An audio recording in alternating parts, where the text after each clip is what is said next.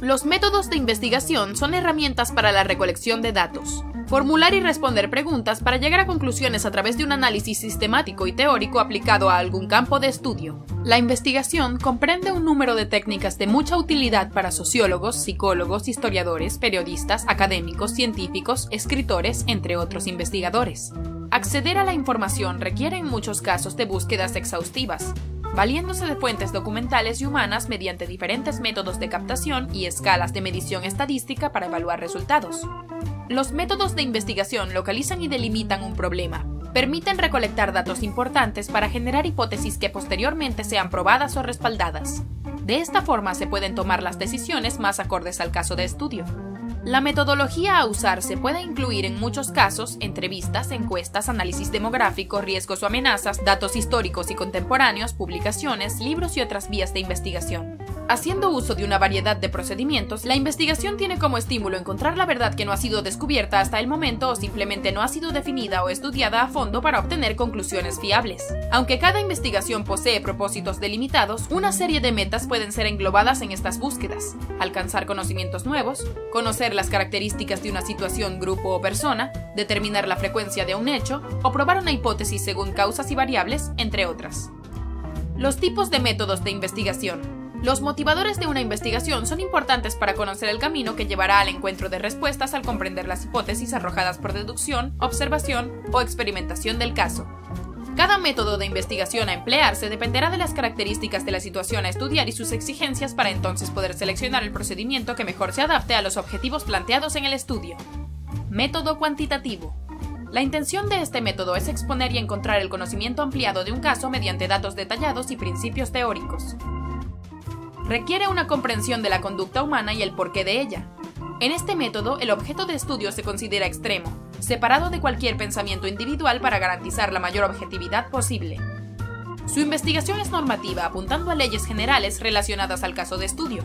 La recolección de datos suele constar de pruebas objetivas, instrumentos de medición, la estadística, tests, entre otros. Se divide en investigación participativa, de acción y etnográfica. Método cualitativo. Tiene base en el principio positivista y neopositivista y su objetivo es el estudio de los valores y fenómenos cuantitativos para establecer y fortalecer una teoría planteada. Se enfoca en lo subjetivo e individual desde una perspectiva humanística, mediante la interpretación, la observación, entrevistas y relatos. En este método se usan modelos matemáticos y teorías relacionadas a las situaciones. Se emplea con regularidad en las ciencias naturales, la biología, la física, entre otras. Método inductivo. A través de este método pueden analizarse situaciones particulares mediante un estudio individual de los hechos que formula conclusiones generales que ayudan al descubrimiento de temas generalizados y teorías que parten de la observación sistemática de la realidad. Es decir, que se refiere a la formulación de hipótesis basadas en lo experimentado y observado de los elementos de estudio para definir leyes de tipo general. Consiste en la recolección de datos ordenados en variables en busca de regularidades. Método deductivo se refiere a un método que parte de lo general para centrarse en lo específico mediante el razonamiento lógico y las hipótesis que puedan sustentar conclusiones finales. Este proceso parte de los análisis antes planteados, leyes y principios validados y comprobados para ser aplicados a casos particulares. En este método, todo el empeño de la investigación se basa en las teorías recolectadas, no en lo observado ni experimentado. Se parte de una premisa para esquematizar y concluir la situación de estudio, deduciendo el camino a tomar para implementar las situaciones. Método analítico. Se encarga de desglosar las secciones que conforman la totalidad del caso a estudiar, establece las relaciones de causa, efecto y naturaleza. En base a los análisis realizados se pueden generar analogías y nuevas teorías para comprender conductas.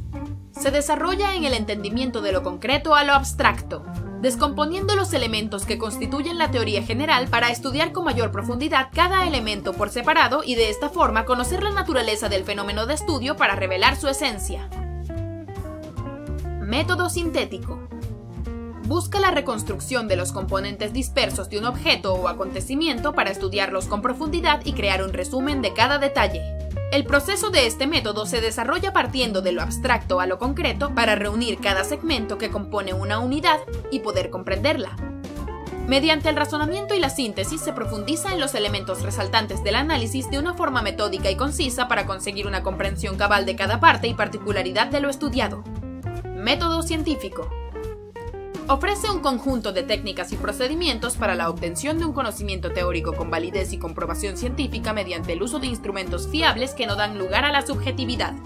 Mediante algunos experimentos se demuestra la capacidad de reproducción de un mismo hecho al usar los mismos mecanismos en diferentes contextos accionados por diferentes individuos. Este método tiene la capacidad de proporcionar respuestas eficaces y probadas sobre algún caso de estudio. Se considera uno de los procedimientos más útiles ya que permite la explicación de fenómenos de forma objetiva, que brinda soluciones a problemas de investigación e impulsa a declarar leyes.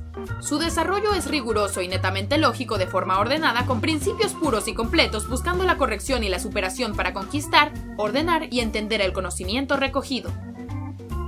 Método comparativo es un procesamiento de búsqueda de similitudes y comparaciones sistemáticas que sirve para la verificación de hipótesis con el objeto de encontrar parentescos y se basa en la documentación de múltiples casos para realizar análisis comparativos.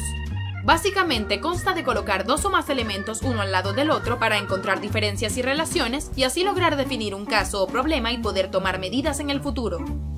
Usar la comparación es de utilidad en la comprensión de un tema ya que puede conllevar a nuevas hipótesis o teorías de crecimiento y mejoría, Posee varias etapas en las que resaltan la observación, la descripción, la clasificación, la comparación misma y su conclusión. Este fue un breve resumen de los tipos de métodos de investigación más habituales. Si te interesa saber más, sigue el link en la descripción del video. ¿Y tú? ¿Qué opinas sobre los métodos de investigación? ¿Nos interesa tu opinión? Déjanosla saber en los comentarios. Gracias.